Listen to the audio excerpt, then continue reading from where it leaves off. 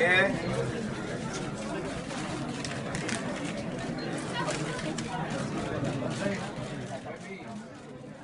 ini bersama dengan bersamaan 16 Zulkaidah 1436 Hijrah kami Gerakan Harapan Baru secara resminya mengumumkan bahawa kami telah pun memutuskan untuk muncul melalui sebuah parti politik golongan pekerja dengan mengekalkan namanya Parti Pekerja.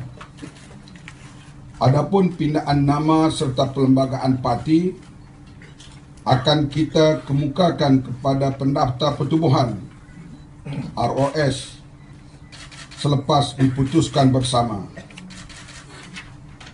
Tarikh hari, hari pelancaran pada satu lagi tanggal keramat pada 16 September 2015 akan datang.